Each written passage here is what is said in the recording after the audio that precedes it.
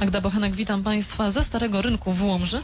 Teraz, drodzy Państwo, zrobi nam się trochę politycznie. Ze mną poseł Kazimierz Gwiazdowski. Witam Pana, dzień dobry. Dzień dobry Pani, dzień dobry Państwu.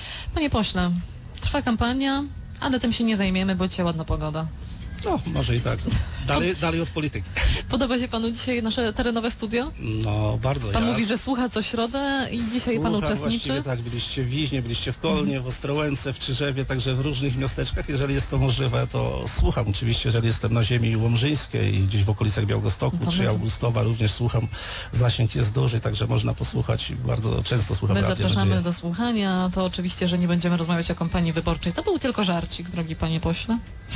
To co, zaczynamy. redaktor, jestem przygotowany. Panie pośle, o 9.30 rozpoczęła się rozprawa w trybie wyborczym w Warszawskim Sądzie Okręgowym, który ma zadecydować, czy Prawo i Sprawiedliwość e, publicznie będzie musiało sprostować wypowiedzi swoich polityków na temat broszury Polska w budowie. Politycy PiSu mieli powiedzieć, że Polska jest w bałaganie, nie w budowie. Co pan na ten temat myśli? Są już jakieś wiadomości na temat tej rozprawy, która rozpoczęła się o 9.30? No muszę powiedzieć, że dzisiaj nie śledziłem jeszcze mediów, trudno mi coś na ten temat powiedzieć, natomiast e, powiem uczciwie, że e, co wybory się powtarza to, że znajduje się w sądzie, jest to przy kamerach, przy dziennikarzach, wszystko w świetle Jupiterów i myślę, że powinniśmy się zająć codziennymi sprawami, żeby ta kampania się toczyła w taki sposób naprawdę rzeczowy. My po prostu chcemy pokazać, że wiele inwestycji, o których tutaj się pisze w tej broszurce Platformy Obywatelskiej, że to są inwestycje rozpoczęte zarządów Prawa i Sprawiedliwości. Dzisiaj Platforma Obywatelska się chwali tym, Ale co na przykład? Możemy mówić, po, możemy podawać przykłady? Możemy podawać przykłady. Weźmy najbliżej Komenda Powiatowa w Grajewie. Decyzja o budowie zapadła w roku 2005, a w 2007 powstał program specjalny dla policji, dla służb mundurowych i właśnie z tego programu ten obiekt był finansowany. Że zakończyła się inwestycja w 2007 roku, ale wiadoma sprawa, inwestycja ileś tam lat trwa. Ale to są środki, które zostały przygotowane przez rząd Prawo i Sprawiedliwość. I takich inwestycji można mówić o bardzo dużo inwestycjach, które zostały właściwie rozpoczęte za rządów Prawa i Sprawiedliwości. Weźmy nawet Państwową Wyższą Szkołę w Łomży.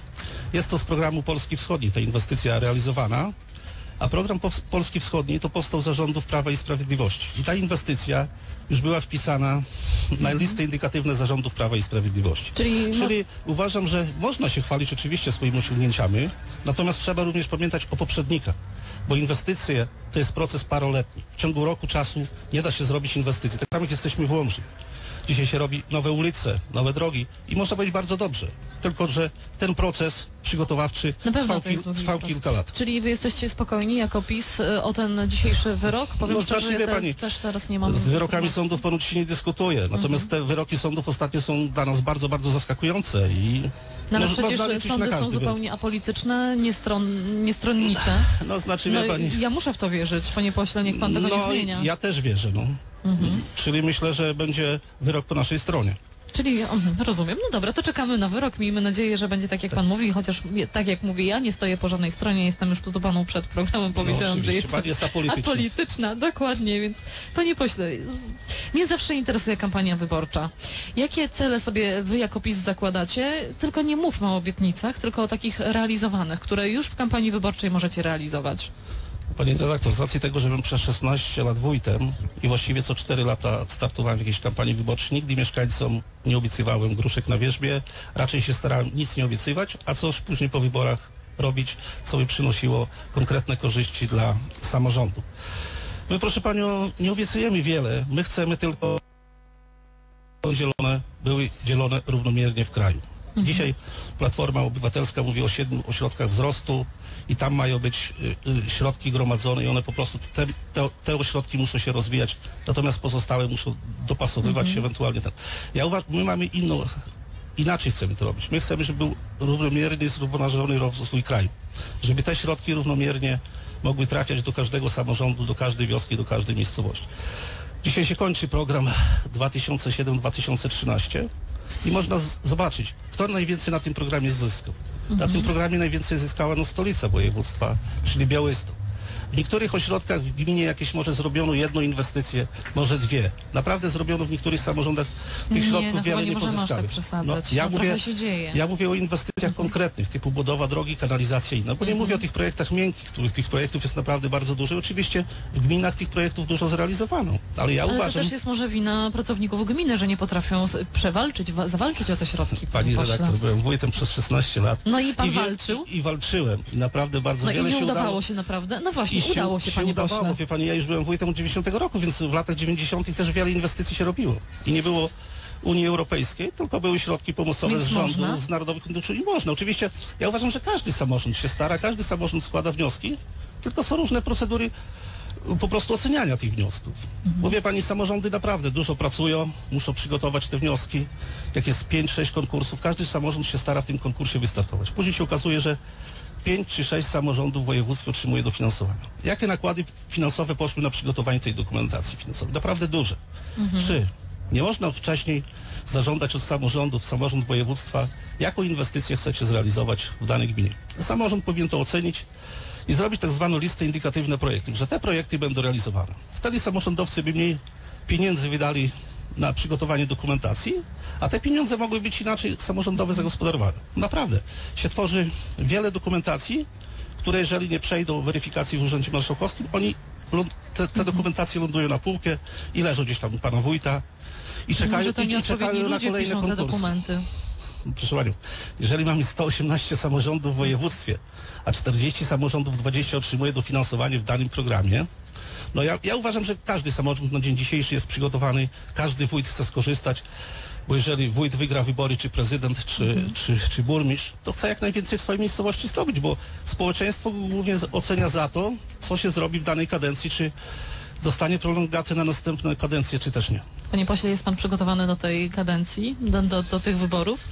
Do tej Proszę walki panią. wyborczej, bo to nie będzie łatwa Po- walka wyborcza. Pani redaktor, polityk pracuje, jeżeli już wygra wybory, pracujesz na następną kadencję. Czyli pan już jest wybory. spracowany? E, Także ja pracowałem przez 4 lata. Często gościłem w samorządach gminnych, jeździłem do różnych miejscowości najmniejszych, a nawet ja mieszkam w miejscowości, która ma 70 kominów, także znam pracę rolnika. Sam też jestem rolnikiem. No właśnie nie lepiej I- i- i zająć wiem, się że- ekologią, pracą rolnika, Wie- spokojem. Panie pośle, trzeba dbać o zdrowie. Wiem, że bezpośredni kontakt z ludźmi daje najwięcej. Wczoraj też miałem duże spotkanie. Mhm. Ale będąc rolnikiem ludzi. też można mieć kontakt Pani- z ludźmi, też pa- można pomagać. Pani redaktor, ale ja, ja, ja uprawiam. Ja mam gospodarstwo agroturystyczne, zajmuję się żona, mam czwórkę dzieci. Także ja też się zajmuję gospodarstwem, Mhm. tylko wiadoma sprawa, wie pani, się weszło w politykę, więc teraz no trzeba coś robić dla społeczeństwa. Można powiedzieć, że Nie, polityka uważam ja, wie pan, nie jestem politykiem z pierwszych stron, który tak bardzo jest przesiąknięty polityką. Ja myślę raczej typowo gospodarczo, dbając o tych najbliższych moich ludziach. O kogo będzie pan dbał najbardziej? E, Ja powiem tak, z racji tego, Tutaj że- już trzeba sobie wybrać, co Z, z racji trzeba... tego, że jestem stary samorządowiec, Mhm. znam większość wójtów i burmistrzów, bo to są moi koledzy, bo niektórzy są już po czwarto, piątą kadencję, niektórzy drugo, trzecią, ale właściwie znam większość. Ja opieram e, swoją pracę przede wszystkim na współpracy z samorządami, bo samorządy borykają się z wieloma problemami. Po prostu udało mi się niektórym samorządom w jakiś sposób pomóc, można to tak powiedzieć, e, po prostu ze względu na to, że są różne problemy. To już mówię natury takiej, nie, że tam pomogą jakieś środki finansowe zdobyć, czy nic takiego, no ale było parę takich różnych rzeczy. Samorządowcy są z tego zadowoleni. Jeżeli są samorządowcy zadowoleni, to są również mieszkańcy zadowoleni danych miejscowości. To panie pośle, jestem młodą osobą. Co pan mógłby dla takich młodych zaproponować? Bo powiem szczerze, że do tej pory pan mnie nie przekonał. Co zrobić, żeby takie młode osoby, żeby żyło nam się tutaj w Polsce lepiej, żeby na naszych ziemiach e, żyło się lepiej, żebyśmy nie musieli uciekać do Niemiec? A, a szczególnie w byłym województwie umrzyńskim. No dokładnie, gdzie, gdzie- jest tutaj gdzie- brak pracy naprawdę dla Gdzie- młodych, wykształconych ludzi. Gdzie jest wysoki stopień bezrobocia, no, Bardzo 15% w Łomży, e, około 20 w Kolnie, ponad 20 w Grajewie. Także to jest no, naprawdę rejon o szczególnym, wysokim stopniu bezrobocia. I to się, to się sprawdza, wie pani. Do mego biura też zgłasza się bardzo, bardzo wielu młodych ludzi, którzy, jak to się mówi, no, panie pośle, może gdzieś by pan pomógł, Mhm. jak to się mówi, po naszemu załatwić pracę. Wiadomo, sprawa, że poseł nie ma takich możliwości, żeby ten, ale bardzo wiele się ludzi zgłasza i to jest problem. To jest problem naprawdę jego rozwiązać, bo tutaj to e, wasz... całej Polski. Ja myślę, że wie pani, trzeba stworzyć, się dużo mówiło o, o otwarciu się na działalność gospodarczą, na takie inne, natomiast trzeba stworzyć podwaliny do tego, żeby właściwie ci ludzie mogli zakładać tą gospod- działalność gospodarczą. Natomiast czym to jest obwarowane? To jest obwarowane wszystko wysokimi podatkami. Nie ukrywajmy. Ja uważam, że powinniśmy iść w tym kierunku, że ten, który chce rozpocząć działalność gospodarczą, nawet zwolnić z podatków, z ZUS-ów, ewentualnie nie w całości może, ale w większ, większym stopniu, żeby ci młodzi przynajmniej przez rok czasu, jeżeli przez rok czasu wytrzymają, to ewentualnie po roku czasu można te jakieś podatki i wtedy normalnie, żeby te podatki płaciły i odprowadzały do Skarbu Państwa. Natomiast ja przez rok czasu bym dał naprawdę szansę, można powiedzieć nawet bez opodatkowania. To jeżeli nie będzie podatków, to nie wiem, to wtedy i tak znajdą się problemy, jeżeli chodzi Znaczy, dla młodych. ja myślę, wie pani, że powstanie więcej naprawdę miejsc pracy. Nie ukrywajmy, jest jakaś u nas. Dzisiaj się, się ludzie nie rejestrują po prostu działalności gospodarczej. Jest tak Znaczy, na zwana pewno, ale ja tak myślę, strefa. że po roku czasu, jeżeli komuś się nie uda, to tak naprawdę będzie jeszcze tylko gorzej. Taki człowiek już straci w ogóle wiarę w siebie. No pani redaktor, ja uważam, że jeżeli się nie uda, bo normalnie wie pani, no, w tej chwili jest dużo działalności każdego rodzaju i to też trzeba się wstrzelić. Ja nie mówię, że jeżeli się nie uda, to się nie uda, się mówi trudno, ale uważam, że jakiejś grupie ludzi na pewno się uda. Myśli pan? Tak myślę. Będziecie pomagać młodym ludziom? Oczywiście, proszę pani, do mego biura w tej pana- chwili przychodzi pana bardzo młodych ludzi. Mam, mam dobry Mhm. kontakt z młodymi ludźmi. E, Działam na niwie sportowej, także wie pani, się spotykam z nimi na różnego rodzaju imprezach sportowych, na tym i mam bardzo dobry kontakt z młodymi No ludźmi. i co także... oni mówią? I Właśnie jakie są przekazy? Czego oni by chcieli? Bo tutaj my możemy sobie mówić, że okej, otwor- otworzymy nowe swoje działalności gospodarcze, zobaczymy po rok czasu. Nie można tak myśleć, że tylko rok czasu. Trzeba myśleć o przyszłości, pani Nie, ale ja po prostu przez ten rok czasu chciałbym dać Mhm. szansę tylko, żeby po prostu, ja, ja, ja mówię, że dajmy szansę Mhm. nie opodatkowując, nie narzucając tych wysokich podatków. Ci, tych, którzy chcą rozpocząć działalność. Ja nie mówię, że co, co będzie po roku czasu, bo wtedy, jeżeli ktoś się utrzyma i ta działalność będzie przynosiła, oczywiście będzie to działalność dalej prowadził, dalej rozwijał. Trzeba też stworzyć zachęty. No dzisiaj przede wszystkim nie ma pieniędzy na fundusz pracy. Mhm. Jest to obcięte, środki są jedna trzecia środków tych, co były w roku 2010. Przecież w, miejsc, w mieście Łomża, proszę Panią, w lipiec z tamtego roku, a tym przybyło 561 bodajże osób bezrobotnych, także bardzo dużo osób bezrobotnych przybyło, tak jest. No to ja, ja życzę spokoju tej kampanii wyborczej, panie pośle. Trochę No, relaksu. Spokój jest najlepszym nerwów. doradcą, myślę. Dokładnie. Panie pośle, dziękuję, że pan tutaj do nas, do terenowego naszego studia przybył. Życzę miłego dnia. Dziękujemy bardzo za Dziękuję. Pani, dziękuję radiosłuchaczom.